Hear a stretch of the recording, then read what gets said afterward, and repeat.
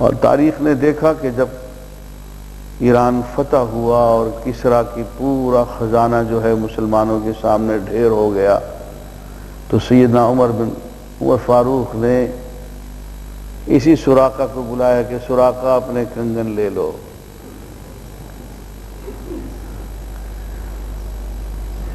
سوراقہ حضور اکرم صلی اللہ علیہ وسلم کی پیش گوئی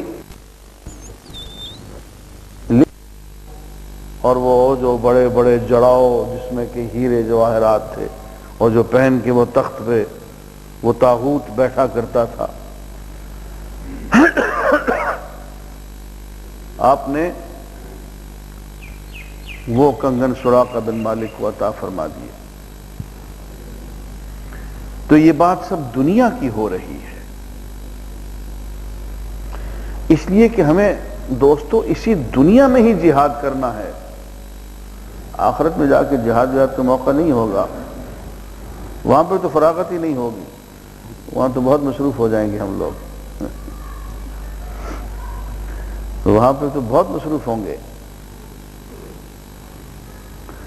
وہاں سے وہاں تو پلک جھپکنے کا بھی موقع نہیں ہوگا دوستو۔ جب وہ سامنے ہو تو پھر کس بات کا ہوش؟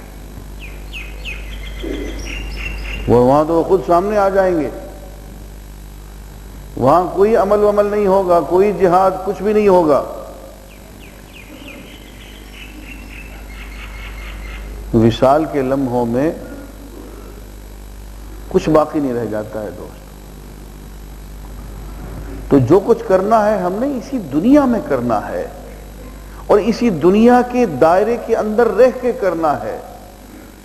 اسی دنیا کے ذرائع و وسائل کو اختیار کرتے ہوئے کرنا ہے۔ اس کے ذرائع وسائل میں معیشت بھی ہے، سیاست بھی ہے۔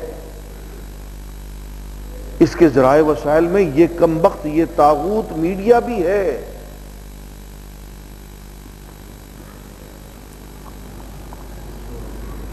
سونا چاندی بھی ہے، اولاد بھی ہے، جاگیر بھی ہے، سب اسی کے اندر رہتے ہوئے انہی ذرائع و وسائل کو، جن کو کہ شیطان استعمال کرتا ہے دین کے خلاف۔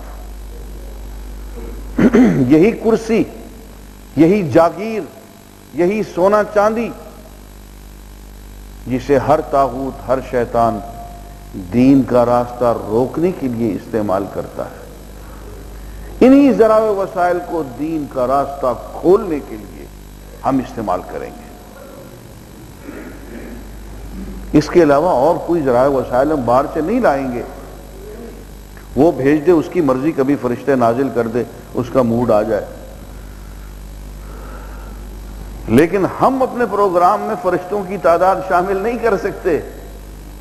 یہ اس کا کام ہے۔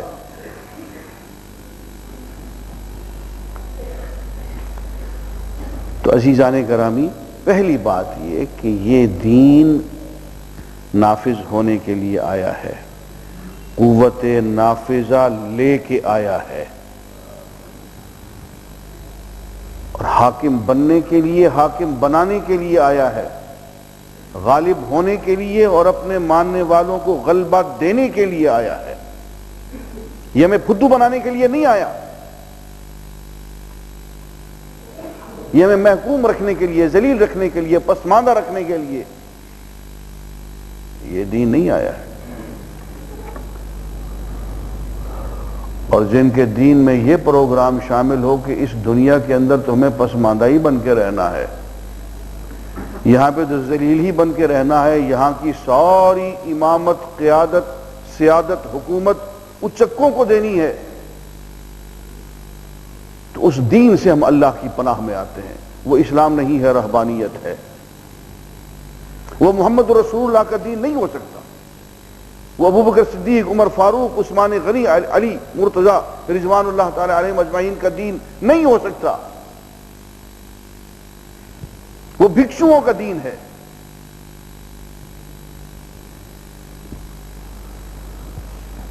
جن کے پروگرام میں اس دنیا میں عملی جہاد اور سیادت اور قیادت شامل نہیں ہے، وہ توبہ کریں۔